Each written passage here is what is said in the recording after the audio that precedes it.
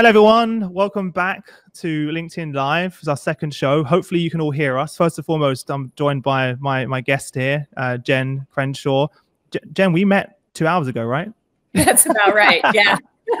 two, two hours ago, and, there, and here we are. So we, we had a great conversation, guys. And I said to Jenn, you know what, Jenn?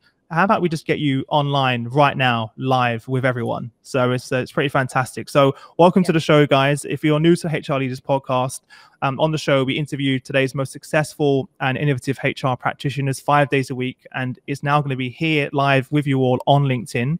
Um, so welcome to the show, Jenn. Um, before you. we jump in, tell our listeners a little bit about yourself personally and sure. your journey to where we are today. Yeah, absolutely. So um, I am a human resources professional. I've, I've been in HR for, for over 20 years. It's a little crazy that I can say that. um, but uh, currently um, on educational sabbatical. I'm a, a, student at Georgia State University working on my doctorate in business administration and uh, have chosen to study career transition and, and very specifically identity um, and and how our identity um, is affected by our career transition process and um, decided to to really focus in on the the transition that military veterans go through.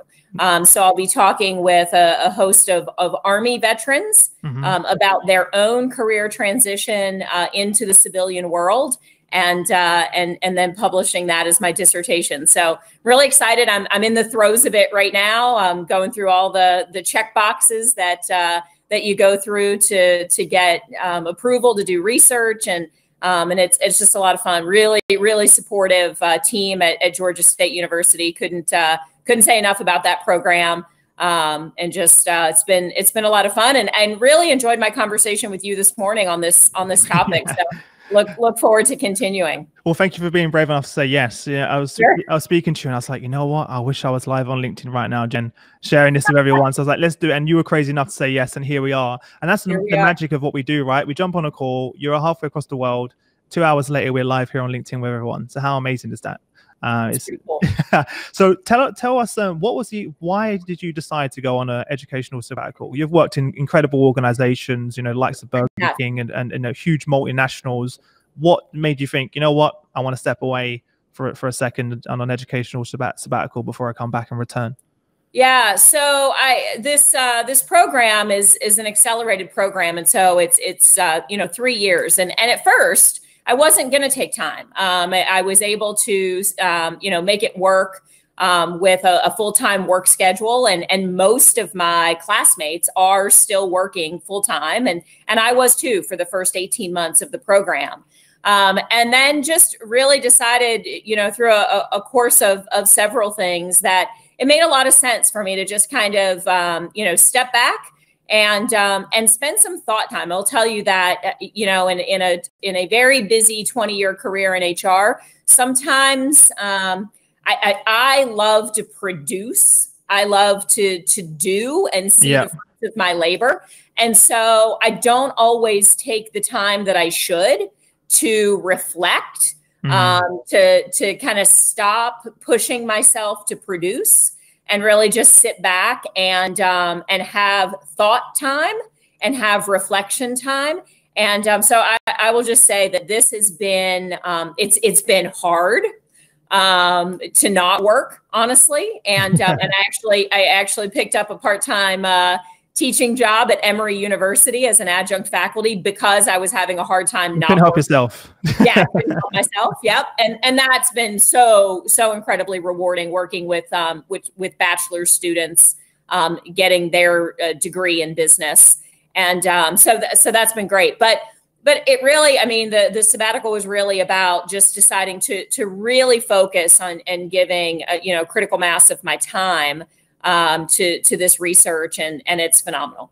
Fantastic. And what really fascinated me about our conversation earlier is that not only are you researching this topic, but you're also currently going through the process of finding your next CHRO role right. yourself. So can you share That's more right. about your experience? She was very honest and open with me earlier about what you're experiencing, uh, and and then kind of gave you a newfound perspective from from going through the process yourself. It really did. Like, you know, I started my career in HR as a recruiter, right? So talent acquisition is is really near and dear to my heart. Talent acquisition processes. I've worked, um, as a as a, a client of some of the best RPOs in the business. Um, in, in working with you know some of the the companies that I've worked with and and I know really great um, recruitment process and I know you know not so great recruitment process I've uh, unfortunately you know led some teams where I you know I I always, um, you know, are, are, pushing us to be better and better all the time. Mm-hmm. And I, you know, being now on the other side of that, being the the candidate, um, working with some amazing executive search firms um, and and some really great um, recruiters. It's a it's a tough time in our profession right now for just how how we balance this awesomeness of technology that allows for us to post a job and get hundreds, if not thousands, of applicants for a job. And then the challenge that comes with then creating a, a great candidate experience. Um, and I have to say, it's, you know, sitting on the other side of it. I mean, I'm embarrassed to admit that I've had, you know, recruitment colleagues who've left, you know, who've stood me up on, you know, video interviews. I've been logged in for a video interview and they just don't show up.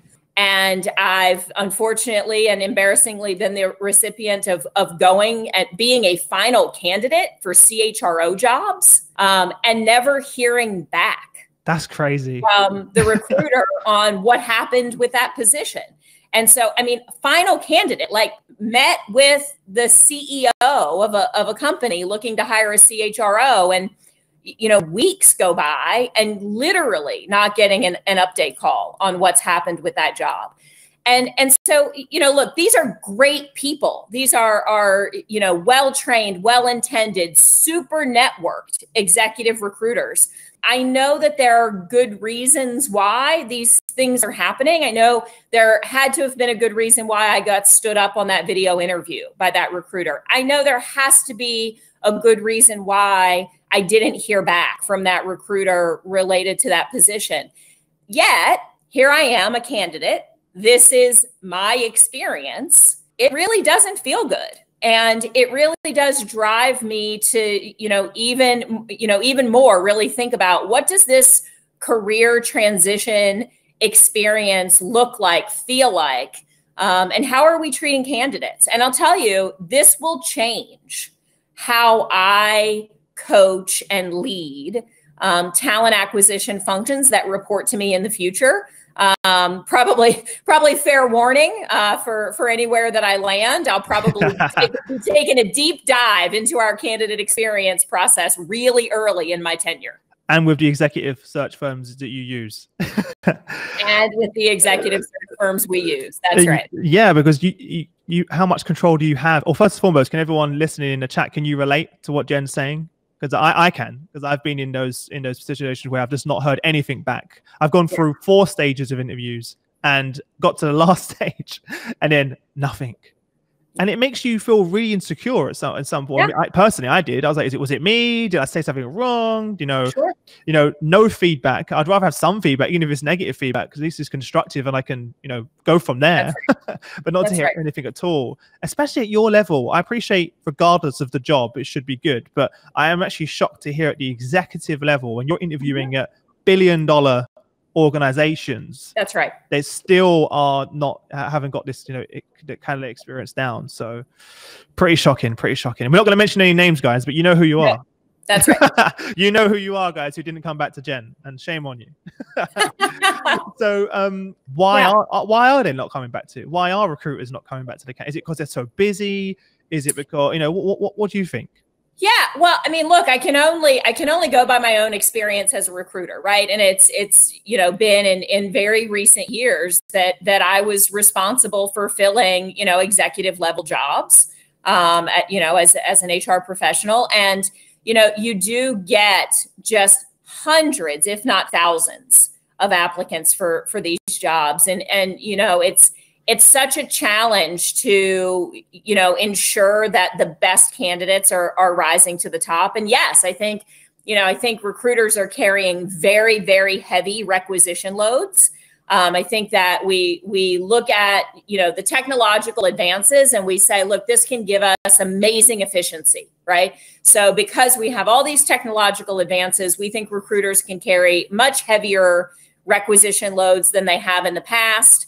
And so we're we're giving recruiters these very heavy requisition loads, and then you know it's it becomes very challenging for them to to keep up with all of the the, the details of that. And so, you know, like I'm, a, I'm going by you know my own experience of times when I have to look at myself and say, you know, in what searches did I potentially drop the ball as a recruiter, right? As I sit in in judgment of of having had these experiences you know did did what did i call in late for an appointment with somebody? Because you know my schedule got so crazy and i it was hard to manage that you know i connected you know five ten minutes late to an interview with somebody and did that make them feel um, you know a lack of respect for them and for their time? I mean i'm you know i'm i'm i'm going to say yeah I probably you know that probably did happen with with me as the recruiter in those situations yeah. you know are, are there times when maybe i didn't get back to people and give them um, really valuable feedback that they needed to continue to you know, continue on their search. Maybe they weren't the right fit for that job at that time, but you know, they were really um, hungry for the feedback, like you were saying, right? To so that at least they would know, okay, what was the reason? Is there something? Am I am I okay with that reason? And I just say, look, this wasn't the right fit. And that thing that you're giving me feedback on, look, that's just who I am. And I'm okay with that. I'm okay that that wasn't a good fit. And I accept that we're not a match. Or was it feedback that they really needed to hear because they say, wow, that's not how I want to come across? Mm. And so I do want to change maybe how I answered that question or how I responded in that situation because that's re- I really didn't represent myself well, and so I, I want to change that. And I think, you know, I think as a recruiter, I've not always given people that meaningful feedback that would help them. And again, you know, in this back and forth now of being on the other side, right? I think it changes how I see my responsibility to candidates. Yeah. Uh, in in giving them that meaningful feedback so that they can d- then decide for themselves. Did I present myself in the best light and I wasn't a fit and that's okay? or do I really want to to tweak the way I'm presenting myself? Yeah, and that's that's if you even get to that stage. Right. Yeah, we were talking about before, right, earlier about how difficult now is to even get in the door for an interview, let alone let alone get feedback and get to the second or third right. stage, uh, the black hole of technology. And uh, I was sharing uh, an example with you, wasn't I, about I'm not going to mention names here on like LinkedIn Live, but uh, right. I was working with one of our members, the chief HR officer, sort of um, one of the largest companies in the world, tech companies in the world, and mm-hmm. uh, was applying for a similar role. Who uh, he was perfect for, couldn't be better. And it dropped me an email saying, "Chris, I'm trying to get hold of uh, the, the, HR leaders at this company because I'm I want to uh, you know go for this new role. I can't get anyone." And I was like in shock. I was like, "You are, you know, the HR executive, one of the biggest companies in the world, and you can't even get an interview." and get through the door. And it's only through me making those personal introductions via email and, and, and phone call that I got an email a few weeks later saying, Chris, thank you so much. I've now of, I'm now working in, in my dream job. Thank you. Mm-hmm. But the thing, the fact that that person could, was just, you know, applying on LinkedIn, getting no response, going through executive search firms and still getting no response and had to take it on themselves to you know reach out to their network people like myself and also pick up the phone and make it happen because yeah. leaving it into someone else's hands and sort of praying for your dream job um yeah. that's not that's not the best strategy in the world but i appreciate it's not easy for everyone to go ahead and do that and they may not have the necessary network or skills to feel comfortable in picking up the phone and selling themselves for that role I feel like we, you know, I feel like there's. I, I was saying to Chris earlier today, you know, when as you know, as a researcher right now, I, I, often say when you're when you're a hammer, everything's a nail, right? So so everything looks like a, a future research project to me at the moment. And so, you know, to that point, right? It, I feel like I could we we could write a paper, you know, when when the funnel becomes a black hole. Yes. Right. Mm-hmm. And that's and and you know i feel like you know that's really what we're we're dealing with in in talent acquisition right now is that you know we have such an opportunity to attract such a wide variety of candidates. And then you know what do we do with that funnel and how do we ensure that that funnel doesn't become a black hole? And you know i can say you know i've had people reach out to me and and say look hey you know i see this job um, you know, in this company that I that I know that you work in, or that I know that you have a network into, you know, how how do I get noticed for this job? Because I I feel like I'm the perfect candidate. And I say, you know, first of all, it's really important that you go ahead and apply online because the company is going to want to make sure that that your application is officially in that applicant tracking system and that's just you know that's a sounds like a checkbox kind of thing but you you know you definitely do want to go ahead and apply online but then you do need to activate your personal network right so you do need to make those phone calls make those linked out reach outs to people that you know and that know you mm-hmm. and really follow that thread because ultimately you are likely going to need somebody inside that organization to pull your application out of the black hole and put it toward the top of the stack. So the recruiter or the hiring manager actually read your resume or actually look at your LinkedIn profile because you know it's it's of no of no intent. They're not intentionally ignoring. Yeah, of course. If it doesn't have the right keywords, the right candidate too. Exactly. Yeah, it's just unfortunate because they have such a hard job where you guys are getting thousands of applications, and obviously a lot of that goes through the software, whether it's keyword looking for different keywords, and that's right. Uh, within that, and you there's so many there's so much incredible talent just just being you know sent to the black hole and you never see him ever again. Um, so it's, it's tough on both sides. So definitely not one one sided. And some of the, for everyone listening, if if you're looking to apply for a job on LinkedIn, or and one of the pieces of advice I'll give you, which has worked for me and a lot of friends in in, in my in my in my uh, circle, is when you go on LinkedIn, right, you see a job that's been posted. You can see the person on LinkedIn who's posted that job. On the right hand side, you can see the name what I always do with a friend is click on the person who's posted that job on LinkedIn and message them personally on LinkedIn, say hi, and you know write a little statement about why you feel you're right for that role, and reach out to them directly to set up a call or a time to just to, to, to talk, as opposed to just applying on LinkedIn and That's hoping right. they come back to you. And uh, I had a friend recently who spent the entire weekend, sent a few hundred messages. Uh, it sounds like a lot of work, and three days later, he had he had had a job at a company he really wanted to work for. But you know, take it into your own hands as opposed to just applying to jobs and in the hope someone re- replies as well. And if you guys are interested, I have a template um, that I sent that that I made for my friends who are looking for new roles that they send to people on LinkedIn and hiring managers about why they feel like. And so if you can fill in the gaps in the middle yeah. about why you feel, just sit there, spend it, spend a day messaging. You know, find do your LinkedIn sales navigator search, find those jobs that you're interested in, and message the hiring managers directly. They're going to hate me for saying that by now, but but it, but it works, right? So yeah. um, so that's, that's from my own sales experience as well. So um, yeah, um, Hasrat mentioned in the in the chat, he said, um, why did you decide to leave the organization to go on a sabbatical as opposed to going on a sabbatical? You know, doing what you're doing now and then returning to the same organization, just out of interest. Yeah. So, I mean, I hate to sound like a, a real HR person here, but but I am. Look, it it it depends, right? I mean, every situation is is very individual. Um, if your company allows for educational sabbaticals and you can take a sabbatical and return to the same company, I, I think that's fantastic. Um, I think you know if if those options are available and that's and and you are really you you are really enjoying um, the the relationship that you have with your company and that's something that can be worked out i think you know look as an hr professional i'm always going to be up for you know the retention of talent and the development of talent inside an organization um, so that the to the degree that you can work that out with your company and and do that, you know, inside and and and work out that relationship, I, I think that's an amazing opportunity. Um, I, you know, my choice was was a very individual one, right? I mm-hmm. mean, it, it just um, made sense for for me to to do it the way I did. Um, but that doesn't mean that I, I, I would, you know, I, I, had an emotional reaction, Chris, when you were reading um, that question and it said, you know, should I resign my job and go for higher education? Um, my my you know kind of my emotional reaction to that was I, I, you know like oh my gosh that's not necessarily what I'm recommending to anybody at all except that I don't know maybe I am right I yeah mean, maybe it's right for you at that right time it really depends Like exactly right. I, I, mean, don't so, quit your job if you've got a mortgage, guys.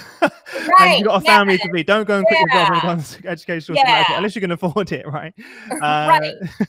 I mean, that's a big that's a big decision to make, right? So if you've if you know this is not a, a financial planning podcast or a you know financial planning LinkedIn live, right? But but you know i would say you know don't resign your job if you're if if you don't have a financial plan for how you're going to make that work for yourself yeah i completely agree with you and uh, it's great that you've taken the time out to focus on your own personal development the yeah. entire reason that we a part of why we started this company is to give senior hr executives that time away from the organization to network yeah. benchmark and learn from their peers in that environment because during the day at work they're so caught up in the day and day running of the organization there's so mm-hmm.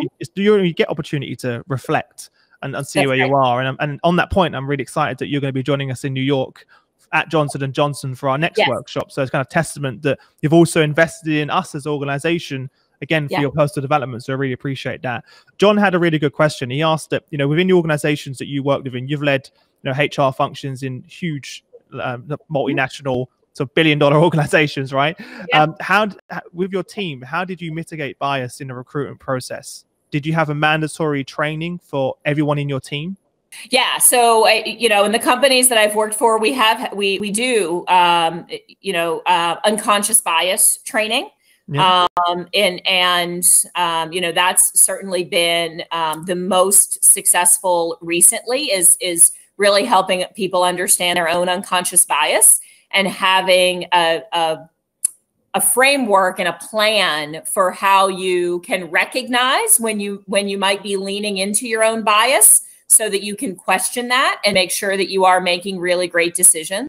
But definitely believe in in um, I, I say mandatory compulsory. I, I mean I, you know i would hope that most recruitment professionals, most HR professionals, you don't have to make it mandatory for them to to get excited to be a part of it, right? Yeah, like, yeah. It kind of takes away a bit of the excitement about if you say it's mandatory. yeah. and, and so you know, look in in truth, it was mandatory. I, mm, yeah, know, of course, of course. right. But I, but I didn't necessarily, you know, we didn't as a team necessarily market it that way. It was more like, hey, we have this really, we have this really great training that's gonna, that's that's gonna make you think about your job as a recruiter a little bit differently. And so, you know, and that was, you know, most recently unconscious bias training. It, you know, throughout my career, it's been, you know, as as the work in diversity and inclusion and belonging has has changed over time, right? These these uh, thankfully um, the training and and how we think about it and how we educate ourselves um, to be aware um, has changed over time. And so in the beginning, it was really just some, you know, some awareness training or, or what, what we called it 20 years ago, you know, sensitivity training, right? Being more aware yeah. of how you see the world and that other people see the world differently than you do and um, just had some really amazing experiences over the years with those kinds of training. But yes, I think you know I think hiring managers should have to um, you know in, in in a perfect world, you know, any you know any um, organization would have their hiring managers go through unconscious bias training um, and understand that. Look, we are naturally attracted to people who make us feel good about ourselves. And the people who make us feel good about ourselves are the people who validate us. And so when we are giving ourselves and we feel like ourselves are coming back, that's a validation to our identity and to ourself. And this gets a little bit into my research, honestly, on, on identity and career transition is that there's this validation process of like, okay, who I am is is resonating with you and who you are is resonating with me and we're validating each other's identities and then both people walk away going wow I really liked that person. Well, what is it I liked? Well, I liked that he or she made me feel good about myself. Yeah. Yeah. And unfortunately, that's then how we end up building teams where maybe there isn't the kind of diversity that we actually state we want right? We want diversity. We know the business case for diversity. We know it should be there. Nobody's arguing that. But then how do you actually make it happen? And actually making it happen is that recruiters and hiring managers have to be aware of their own bias, aware of the fact that they get attracted to people who validate them and make them feel yeah. good about themselves mm-hmm. and make sure that we're really selecting people that are going to challenge us and that are going to make us better as a team. Yeah, completely, completely, completely agree with you. And uh, I had one more question from um, from from Kripa before we jump into your sort of research into what you're doing yeah. now. And she she asked from a personal point of view during this transition uh, and this period of re- reflection and learning yourself. Do you look at HR differently now? Are there anything that you know what what what's uh you know what's come to mind for yourself? Anything you do differently now, looking back when you move into your your next role? What will you be doing differently? I hesitate to say that it that I that it that this is an example of how I look at it differently, but maybe how I look at it in more fullness. Sure, sure, understand. Right. Yeah, so understand. you know, I, I feel it in and so what I would say is that, you know, in thinking about it, I really have, and, and Chris, this was something that came up with us this morning. I really have been thinking a lot um, about how adding technology to HR processes um, is affecting our relationship with employees inside of organizations. And so if human resources is really the you know kind of the the owner of the employee to organization relationship and how do we cause people to feel really connected and really feel like they are some they are part of something bigger than themselves um, and not just a number, right? They're not just their EMPL ID in the HRIS system, right? But that they are really a valued member of this team. And when you work in an organization that has 60,000 employees, that's not always easy to do, right? But you know, so in really thinking about that, what what I have been spending a lot of time thinking about, and, and what I think I would do in more fullness um, moving forward it's just really asking those questions around okay, look, employee self service is good, manager self service is good. But what connection point do we lose with that? And how do we both embrace what is good about technology, about efficiency, about employee and manager self service without losing those meaningful connection points? And I, I use a really simple example to to kind of illustrate it. And I say, okay, look, you know, but let go back you know 20 years ago and and you were a part of an organization and you were buying your first house right you're a young family you have school age kids you were going from renting a property that somebody else owned to you're now moving and buying your own home in a school district you've chosen because this is what's good for you and your family you would potentially walk uh, into the office of your HR representative and you would say, "Hey, we moved. I have a new address." And there would be there would be interaction, there would be humanness, there would be tell me about bonding. your yeah, wow, bonding, yeah. you bought a new house and are you excited? And this is and this would have been a celebratory moment for you now and you would have shared that with another human being that you work with that that makes you feel connected to and tied to now you um if you ask HR how you change your address, you get an email back with a link. Not, not even an email, a chatbot. Right, that's right, a chatbot. You exactly. get a chatbot reply saying "Enter here, update here."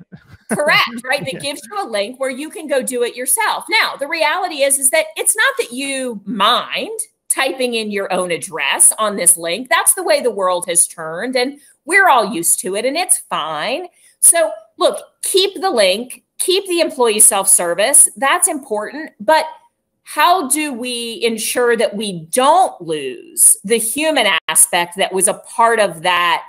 that potential celebration even if it was just two or three minutes of we're so excited we bought our first house right. But does that get lost? Does that human connection get lost? And I'm not saying that's the only way it happens. That's just an example of how it had, I, you know, it, all of this has changed the way I'm thinking about, you know, I love technology. I love applying technology. I, you know, I'm always going to look for ways to make something more efficient, better.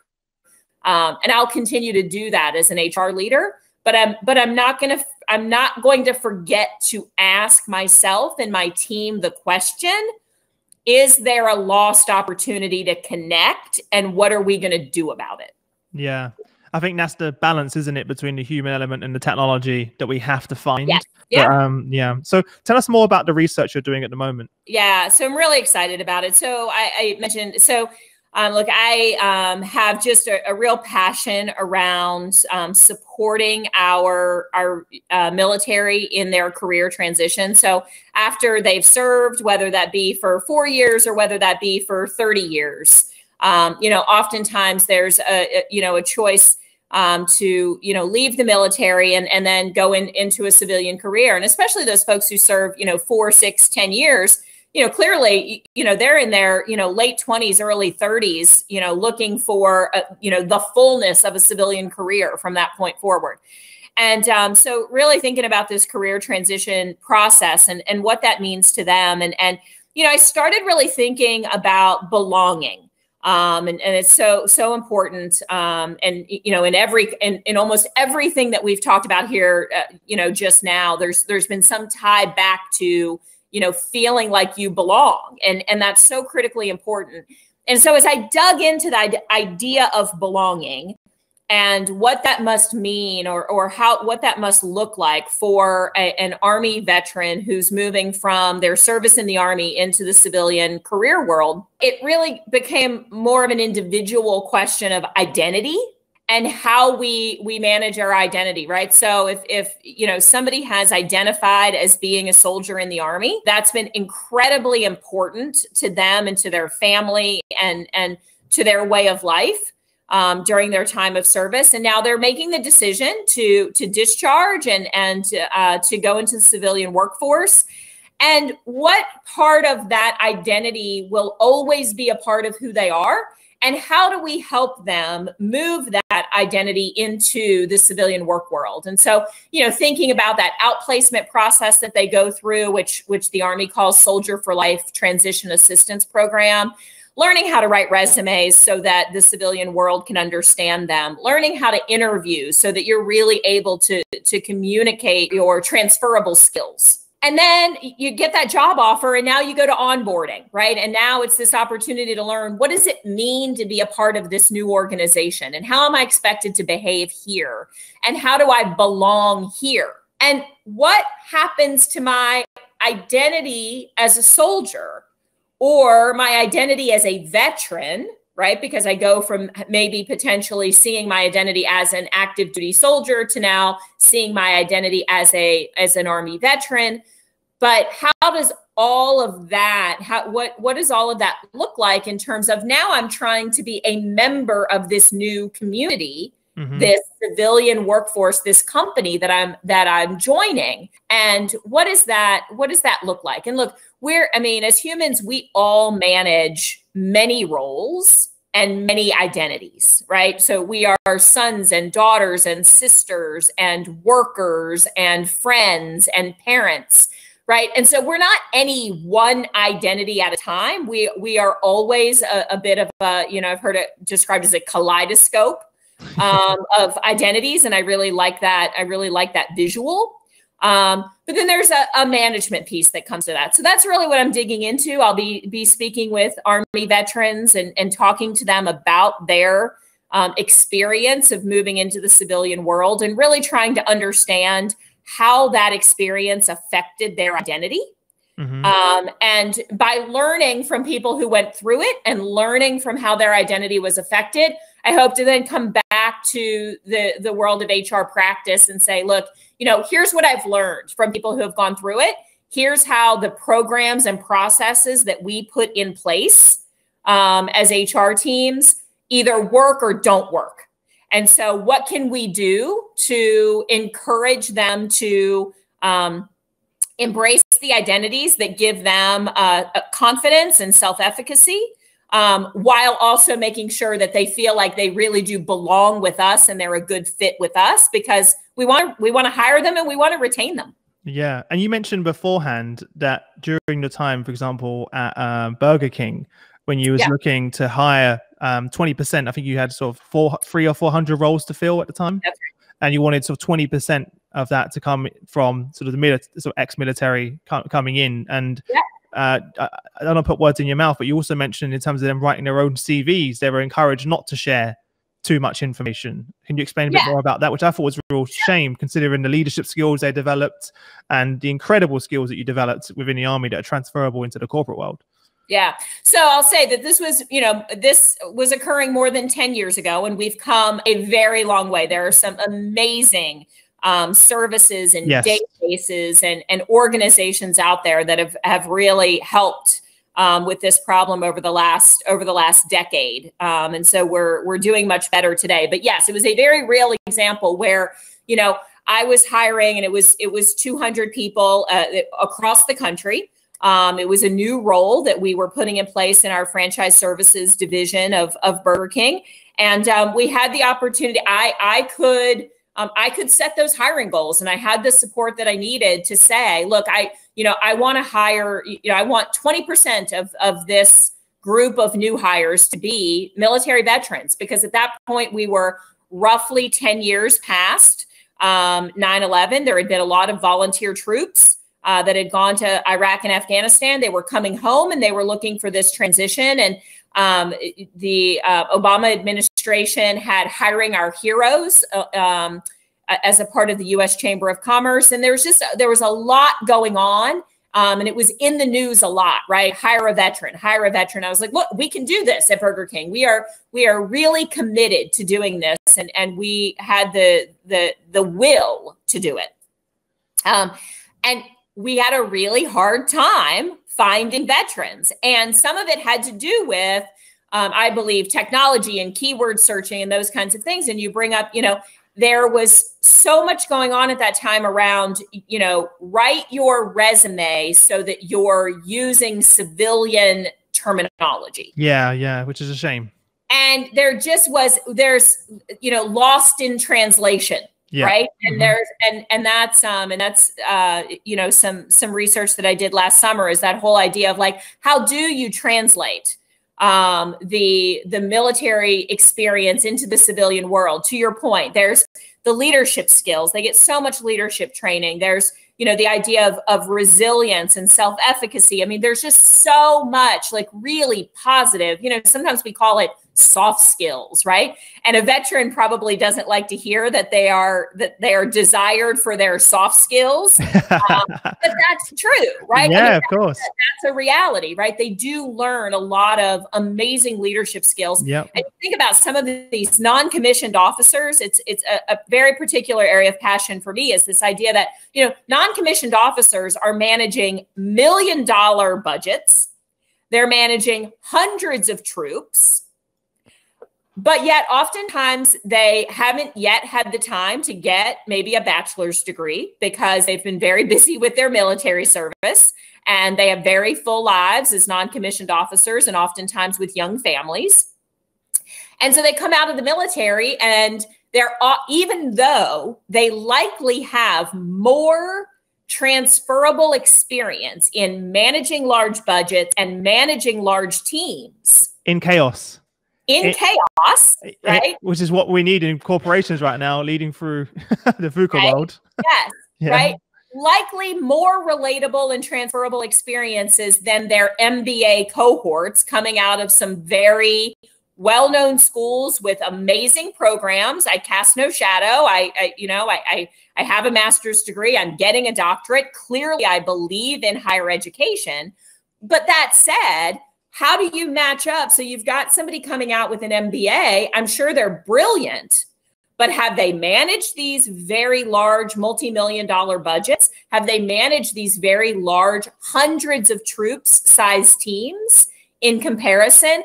And sometimes we overlook these NCOs and these amazing experiences that they have. And, you know, we, we lean toward this, the, you know, the, the, um, high priced brand name MBA. And again, casting no shade, I'm just saying we, you know, it's it's something to think about a bit differently. Yeah, definitely. Uh, one of the questions I had from John on, on LinkedIn said, How do you approach the veteran community that represent different dimensions of diversity and have different experiences? So, the LGBT community, for example, do you have any mm-hmm. experience in that area? Have you done any research around that of how you would approach the different diverse communities? Yeah, I mean, so, you know, one thing is that, you know, certainly the military community is as diverse, um, and, and it has been said that in some ways, maybe even more diverse um, than than the the population at large, right? And so, by you know, to use you know re- my old school recruiting terms, if I'm fishing in that pond, right, that's a very that's a very highly diverse pond to fish in, and so mm-hmm. that's a that's a, just a good thing in and of itself. You're you're likely to to have a very diverse workforce coming out of the, the military. Um, I have not done any specific research on the military and the LGBTQ community. Um, that's not an area that I consider myself an expert at all. Mm-hmm. Um, I think that that is. Um, I, I, I, think people who have a, a, a passion in that in particular um, I would encourage research there because I think it's yeah, I think it's very interesting, really important. Mm-hmm. Um, I think it's still a very, very tough topic, right? I think there's still a lot of emotion um, around how you, you know, how we manage the and and make sure that we are honoring um, the the LGBTQ community in who who desire to serve in the military um, and desire, and that gets me to that identity management, right? In terms of how do i um, you know fulfill a desire i have to serve my country and be a member of the military and still stay true to myself and who i am and not feel like i have to mask or hide who i am yeah. and I, you know that's still a very uh, still a very challenging topic i don't think that we have great answers on that yet. Yeah, definitely agree to that. For everyone listening as well, guys, let us know. You know, what are, were your biggest challenges that you faced during your career transitions? You know, yes. we, we wanted to go live today to hear from you, to hear your experiences and insights as well. Whilst we're waiting for those questions to come in, I'd love you to share your story about how you use technology in your recruitment process and you use video. Because yeah. I think because that it is, you know, that that is part of the challenge is obviously engaging with candidates and Absolutely. I think and I think video is definitely an, an, area where we're seeing great strides. And you mentioned uh, how it was so useful for you in the team. So you can can you share more on that? Absolutely, yeah, happy to. I so uh, this was uh, a couple of years ago, but I know that it's still um, where you know video interviewing is only gained traction. Um, but I was I was an early adopter. Um, I worked specifically with with WePow at the time when I was at New Signature um, as the, the CHRO and, and responsible for IT recruiting. And at New Signature, we were very, very passionate about um, hiring folks who uh, were very highly qualified from an IT skills perspective and also had just an amazing customer service um, approach and attitude. It was really what we were built on um, and, and how important it was to us. And so there were a lot of a lot of very interested stakeholders. And so i was sharing with chris that our interview panels became very large yeah. And uh, there are a lot of people who wanted to be a part of the decision making process on the hires that we were bringing into the organization. And that is both a, a blessing and a curse when you're the recruiter right? Like you you want that level of engagement from from the decision makers. You you don't want to be on an island you know like you certainly as a recruiter don't want to feel like you're the only one meeting this candidate and making this decision. And and you you know you really want that consensus and that collaboration but then also we all know that with every additional interviewer adds time to schedule time to do time to get together all of that right? So video interviewing was a was a godsend right? So it was it was um it was it was recorded video. So the way, and you can obviously do live video, very much like what we're doing right now, and that is very common, and I think used a lot. I think live video is used a lot in interviews um, today, mm-hmm. but I, I, think I don't know if recorded video is used as often. Um, but I find it incredibly helpful, especially when you have a lot of decision makers. So, yeah, explain your process of how you did, because I think a yeah. lot of people was quite new to them, and it, it was great because it helped you take out some of the complexity that's right. from your leaders, and then also gave them some urgency as leaders to, yeah. not, to not get distracted and also make sure they're engaged in the and process. It, and it, it, um, and I will share the process. It, and I'll say the other thing that it definitely did was it allowed the candidates to exactly. actually mm-hmm. meet, mm-hmm. if you will, the the uh, some of the most the the highest level leaders in the organization. So I recorded um, some of the the cultural fit type questions um, as the CHRO of the company. and then I had, what would they be, by the way? Sorry to interrupt you. What, what were some of those questions? I'm sure people yeah. thinking, what are those? What questions would the HR executive CHRO want to know to, to see if I'm a cultural fit? What were they? Sure. So, as I was mentioning, um, high touch customer service was critically important to us, right? So, the uh, you know as a as an IT consultant whether it was in a help desk job or whether it was in a much whether you were a, an engineer solving you know some some pretty um, important you know data center kinds of of data mapping issues right? That customer service and that ability to to you know um, you know gather gather information from the customer and be high touch. So my questions were very much around you know pretty standard you know behavioral interviewing questions around you know tell me about a time when you had a difficult customer situation and how did you win that person over right? Mm-hmm. so what no it wasn't that the questions themselves were magic right? It was you know your pretty standard questions but i recorded myself asking those questions which is important. Yeah mm-hmm would record their answers. And then additionally, we had the chief technology officer ask and record himself asking very specific technology driven questions, things that were really important to him. And I won't be able to tell you what any of those questions were. yeah. Five years ago, I knew them, but right now I don't. Of course, of um, course. Yes, but they were very, very specific, you know, engineering type questions. And so then we would get these recorded videos back. They would be 10 to 15 minutes worth of video interview. And every candidate had answered the same questions right so we were so we were getting to that what you always try to do as a recruiter right with structured interviews to try to have that apples to apples comparison Mm-hmm. And because it was recorded, both the questions were recorded and the answers were recorded. We, in fact, had the same pieces of data on every candidate. And so then I would send that link out to the interview committee, and that might have been as many as 10 people might have been on this interview committee. They all watched the video when I would send it out, I would send it out with a meeting invite, and I would basically give them five business days and say, "Look, I'm, you know, I'm sending this out on Wednesday afternoon. Next Wednesday afternoon, we're going to have a call. Everybody who can make it is going to come, and we're going to talk about your experience of having watched these videos and decide if this candidate moves on to live round." Mm-hmm. And if, and, and if you don't, if you don't, you miss out. That's right. yeah, it's your own fault and, and, so, you know, I would say to them, look, I know we do this a lot. I know it's very time consuming, but here's the deal. If you feel really strongly one way or the other, you need to absolutely show up to this discussion.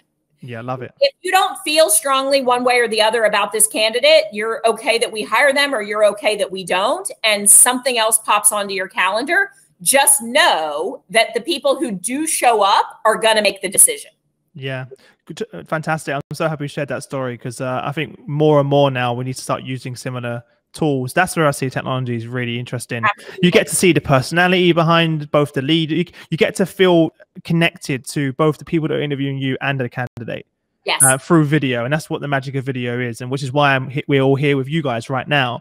Is that you, you know some of my I, some people that I consider my best friends I've never met them for years, and I spoke to them through Zoom calls and video. A lot of the CHROs that I work with that are members, they've, they've known me for three, four years, and we meet face to face, and they're like, I feel like I already know them, and they know me.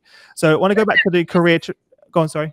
Oh, I was gonna say that's why when you started out, you know, a little while ago, and you, you know, you let everyone know that we really did only just meet a couple of hours ago. That is yeah true, but I feel yeah. like I know you because I've I've been watching and listening your you know to your podcast for the last couple of years. So I was like, wow, that's actually true. I really don't. I really didn't know Chris until this one.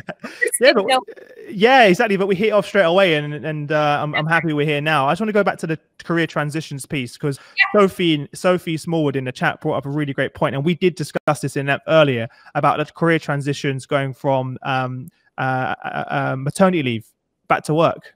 Yes. And uh, yeah. and and by the way, Sophie, I've recently become a dad myself personally, and my wife, we're just starting that conversation right now, and there is already some anxiety on my wife's side, and she won't mind me saying that um, as well uh, about you know what that means for her to go back now as a mum. Uh, mm-hmm. as you know, it's, it's very different. So, can you touch yeah. on that as well? Because I know you've also looked into that. Yeah, well, and and so I'll say, I, you know, I do often talk about it as I, you know, it is it is not a part of my research at this at this point, but I do believe that my study could be replicated. Yes, um, looking at that group as well, or that transition, I should say as well, right? So my research is very much focused on, um, you know, Army uh, to yeah. civilian transition. But I believe that after the fact, I could very well, I could very easily replicate it, looking at um, that stay-at-home mom um, population who then chooses to go back to work. And mm-hmm. what does that mean in terms of that career transition? And what does that mean in terms of that identity management? Right? We, and you know, Chris and I were talking this morning. Right? We we kind of accept that once a mom, always a mom, right? Like Chris and I were joking about the fact that, you know, we're, you know, we are are adults well into our career and our moms still call us to check on us if they get us like, I'm not sure Jenn's okay. I should call her. Yeah. Right. And, and, that still happens. And and so, you know, once a mom, always a mom. But you know, that and that's an identity that we don't expect anybody to let go of. But then what does that look like and how does one manage that when let's say they you know become the the chief marketing officer of their organization and now they have these you know what feels like competing identities of being a mom being a chief marketing officer? And how do we how do we help them in, in the organization manage that? And i think you know that is critical to that whole conversation of belonging, that whole conversation about, you know, we know that you know we have a loneliness epidemic right in this country. And you can i mean and and we've heard it said for many decades that it's lonely at the top right? So you know you talk to to executives and sometimes they feel the most isolated. Mm-hmm. um, and yet they're the ones trying to you know potentially manage some of the most complex identities of you know their identities in their family units and their identities at work.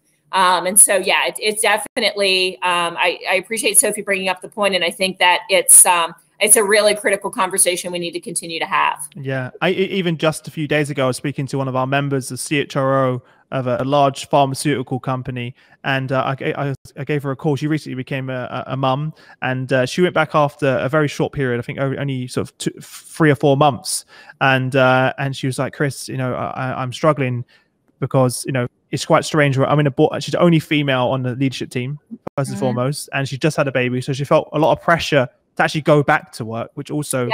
wasn't great, and uh, and that that was already a concern. Uh, mm-hmm. And then secondly, the fact that she's like, Chris, they don't understand when I'm like, I have to lead this boardroom right now because I need to go and express milk. Right. Right. you know, and my wife's yeah. going through that now. And even like, how do you say, oh, sorry, guys, let me just interrupt yeah. our global strategy meeting. I need to go out and pump milk and, right. and express you know so that self sense of belonging is is she come you know people are looking at her differently treating her mm-hmm. differently there was even an instance where there was a global um, sort of strategy meeting that she didn't get invited to. Mm. And then they said, why didn't you, oh, we didn't invite you because we thought you wouldn't want to travel. Right. So, uh, you know, unconscious bias, you know, uh, yeah. they, they meant it in, in their, they thought they were doing a good thing. Uh, right. Whereas in reality, now she feels excluded. So the entire, yeah. the entire leadership team is going to be at that meeting and she's not there. Yeah. Um, as well. So these, these are real concerns.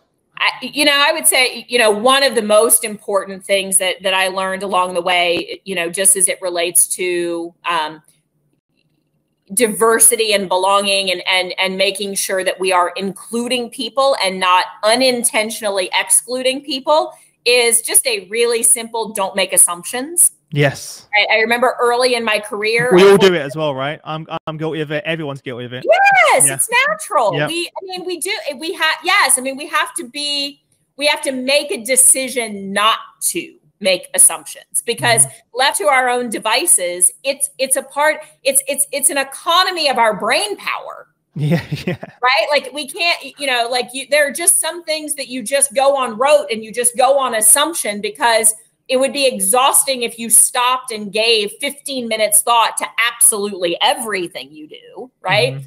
But when it comes to making decisions, you know, for your coworkers or about your peers, I, I would say, you know, use an abundance of caution and making assumptions, right? I, I feel like you know, I had a, a situation early in my career where I had a boss assume that because I, um, you know, made some comments about loving the the new house that I had bought in the town that I was living in. She made an assumption that I wouldn't be willing to relocate. And so she didn't bring a career opportunity to my attention because it would have required relocation. Well, I never said I wouldn't relocate. I did love the house that I just bought. I did love the community that I was living in, but not to the not to the extent that I wouldn't have considered a career opportunity. Yeah, that also happens a lot. That I was mm-hmm. like, wow, what a lesson. Don't ever make that assumption. Give people the option and what and then be okay with what they decide. Yeah. But sometimes it also works about um negatively on the other side is then you stop sharing how you feel. Or, That's right. Or stop sharing that you've just become a mum or there's something right. important happened because you you think, well, what are they going to think? That's you right. Know, for me, a, a, big part of mine was uh, for I suffer from anxiety and have done for for my whole life, and only in the last two years have I actually started talking about it because mm-hmm. you know there would be weeks where I wouldn't even turn up into the office, and uh, because I couldn't leave my house because I was I, I felt like I was having a heart attack every time I needed the door, and I didn't understand what was going on, and I was embarrassed sure. to tell my CEO and my sales director because I thought they're not going to give me that promotion because mm-hmm. they're going to think that you know I'm mentally unstable. I was embarrassed to tell my peers, my friends, my, even my wife that I was going through that, and I would make excuses of why I wouldn't go to on a holiday or to this party or this friend's house because I was feeling really anxious and I, I didn't understand what it was. And uh, again, I didn't want to tell anyone because I was worried about what they would think um, yeah. as well. So, yeah, it's very interesting. Well, look, before we wrap up, uh, I think we can stay on there for another hour if we wanted to, but uh, we, what this wasn't even planned, everyone listening. And thank you so much for all your questions. We really appreciate it. And uh, yeah. we, we, did this because we wanted to bring you guys on, on the journey with us. So, it's been fantastic. Before we wrap up, we're gonna Jenn, we're gonna jump into our quick fire round. You listen to the oh, show, so you know what you know yeah, what's coming, right? All right. So, uh, right. So I'm gonna ask you five questions. You've got 30 second, seconds, sorry, to give us some amazing answers. Are you ready? I'm ready. what was the number one thing that was holding you back from becoming a successful HR executive? Self editing. So sometimes not br- not being willing to bring up ideas because I would um, dismiss them as as not yet complete, not yet. You know, I'm I'm a I, I, I, like to brainstorm. I like to work with others to to bring you know things to fruition. And so sometimes I wouldn't speak up and offer ideas because I knew that it was a bit half baked, mm-hmm. and I felt like I had to bring a finished product. But then I'd get caught up in not having a finished product because I need others to co-create with. So it put me in a bit of a spin. I wasn't I wasn't speaking up but I also wasn't able to complete because I wasn't speaking up. I know exactly how you feel, and I'm sure everyone listening right now can resonate to what you're saying. What's the best piece of business advice you've ever received? I, it sounds crazy, but have a budget. For yourself personally, or well, well yeah, no, for business, right? I'm, I am joking. Yeah. yeah, I mean, whether that's when I was starting my coffee house that that I co-owned with a with a partner for for seven years, right? Or whether it's running an hr department and and you know wanting to try something new like you know it's it sounds crazy like or sound like it, it's something we take for granted right? Yeah, yeah, yeah. something you take for granted but i would say it really was the best piece of advice around you know resources are not unlimited.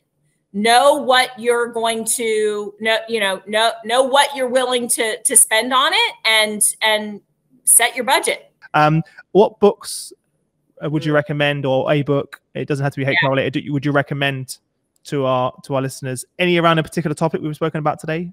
come to mind or if not any any hr books or, or, books that come to mind yeah well i mean some of the so, some of the ones that that i literally order all the time and hand out to my team but i'm a huge fan of cy wakeman's reality based leadership yep um, I am a huge fan of Marc Effron's uh, one page talent management and uh, everything that Dave Ulrich writes. Because I'll, am, I'll, tag am, him in, I'll let him know. yeah.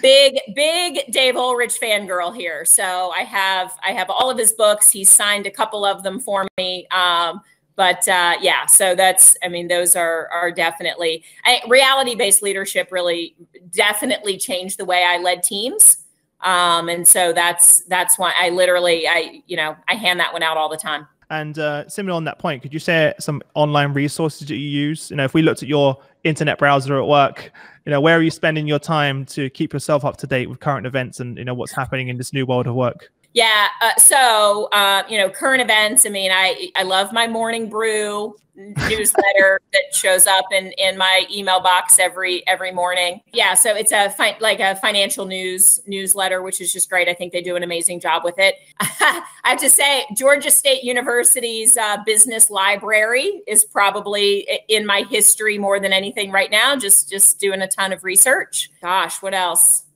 Well, I know we discussed LinkedIn earlier because that's how we. Oh, you can't. Absolutely. Can you can you plug link, LinkedIn whilst live streaming to LinkedIn? I don't know if that's. Uh, yeah. Yeah. Exactly. yeah. No. Yes, and and and I think LinkedIn does a, a fantastic mm-hmm. job with with some of their aggregation of of news stories and things, and I I definitely that's that's definitely high on my list. Yeah, it's uh, it's I, I love obviously that's how we connected, right? We wouldn't be yes. here right now. LinkedIn message phone call, here we are, right? And not, right. Not, not, only are we here live on LinkedIn, but I'll be seeing you in a few months in New York, right? So right. it's incredible how you're just one connection away from anyone. That's and, right. Uh, and, that, and it's been sort of a, a game changer for me um, to, to be able to connect with all of you guys and to bring everyone listening uh, great minds like yourself. So it's, it's it's fantastic. Well, look, thank yeah. you so much for taking the time out to join us on the show. It's been Thanks, Chris. incredible. It's been great to get to know you this morning and, and having you here this afternoon. And I'm sure everyone listening would agree. You definitely provide some great insights and advice for everyone. So thank you very much for that. Awesome. Before Thanks for having me. It was fun. No problem. Before we wrap up, if there's yeah. sort of one one parting piece of guidance you could give to other HR leaders that are on their journey or developing on that journey, what would that be? And then secondly, if anyone wants to get in contact with you, what's the best way for them to do so? So I, I, would say, you know, my parting piece of advice is just, you know, now in a time where, you know, technology um, is is going to continue to change the way we work. Don't forget the human and human resources, and don't forget to stay connected. And I think that that's that's going to be our task um, as HR professionals. And then as far as getting a hold of me, probably the best way is LinkedIn. Um, I uh, I do check my LinkedIn every day. Um, shamefully, so, we all say that shamefully. We're like, oh, yeah, yeah, yeah. I do. It's it's it's here on my phone, and I'm always looking at it. So yeah, please shoot me a shoot me a note, uh, shoot me an inbox, and uh, on LinkedIn, and I will absolutely respond. Fantastic. Well, for everyone listening, guys, once again, thank you for joining us. Um, if you're not already um, following me here on LinkedIn, if you enjoyed the content, make sure you follow me here and also follow follow follow Jenn as well on LinkedIn. Um, Jenn, we need some more content from you. okay. Get it out uh, there. You get it out there. And uh, um, if if you guys are available at 3:30 p.m. on Friday, we'll be going live again uh, with another workshop. So hopefully uh, another podcast and workshops. Hopefully you will see you all there.